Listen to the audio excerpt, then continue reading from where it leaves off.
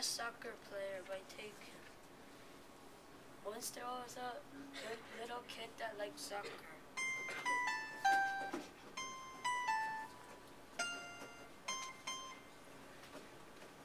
One day the little boy kicked, kicked the soccer ball and flew in the window and crashed. The house owner ran out and went after the boy.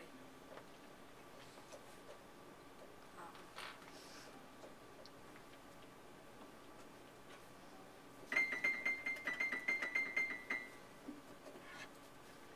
The in a tree and the owner looked up. And the boy fell down from the tree and ran to his house.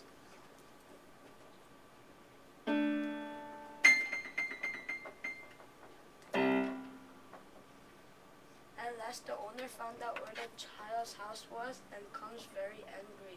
And the boy apologizes and the boy got to learn soccer from that man.